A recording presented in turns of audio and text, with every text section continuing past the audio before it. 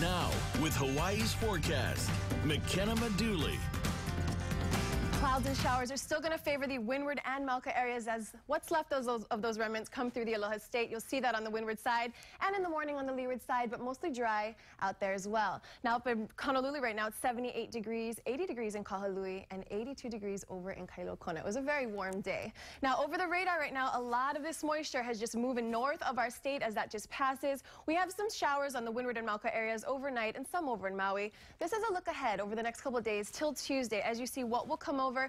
Very light and moderate showers, nothing too heavy as we go through tomorrow. And on Tuesday, we will have that drier weather with uh, our trade winds will be coming back just then. So we do have that. And um, if you're going out to the beach tomorrow, the surf report, we do have a bump four to six feet on the east shore, two to four on the south shore, flat to two on the north, and one to three over on the west shore. Tomorrow, going to be mostly cloudy with showers. Parts of the island are actually going to be very sunny, but still slight chance of thunderstorms and locally heavy rainfall still possible. Got to let you know about that. Our KHON two-day forecast, again, showers, but Tuesday, that trade wind weather is back. We will have some sunshine, which is always nice to look forward to. Wednesday and Thursday, we might see a little bit of remnants from Ivette, like I said a little earlier, but it's looking like we'll have trade wind weather back for next weekend. And that's something to look forward to, right, after all these storms? Right driving around this afternoon, there was already a lot of fog. I was surprised. I've been hearing that. Yeah, yeah. it's going to get there tomorrow, and then it'll dry up by Tuesday. All right. Thanks a lot, McKenna.